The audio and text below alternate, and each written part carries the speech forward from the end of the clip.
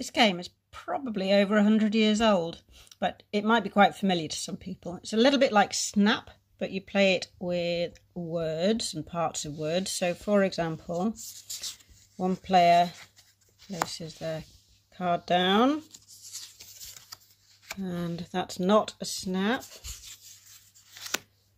And next player, oh, snap.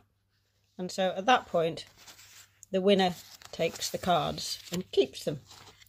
And so it continues until everybody has got rid of all their cards and the winner is the person who has the most cards at the end.